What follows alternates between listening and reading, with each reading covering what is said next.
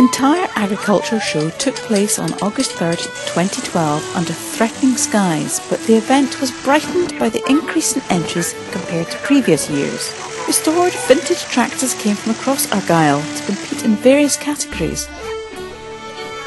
The Kintyre Show always sees large numbers of entries in this competition with avid tractor enthusiasts giving up their time to show them off.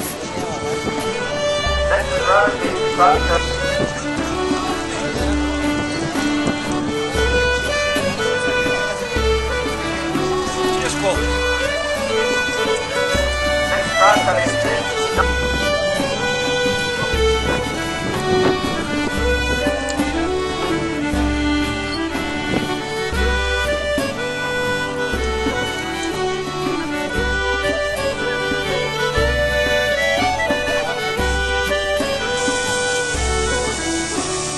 portable milking parlour was supplied by Fullwood to allow farmers to milk their cows after the beasts were judged to avoid discomfort to the livestock.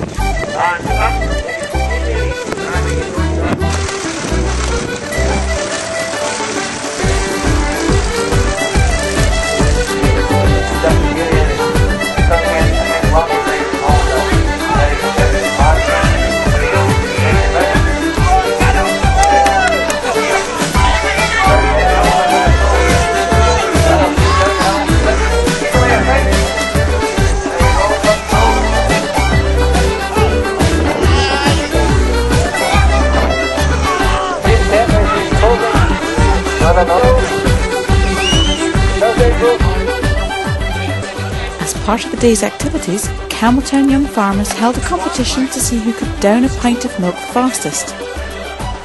Sandy McNiven proved the fastest out of a large number of entries.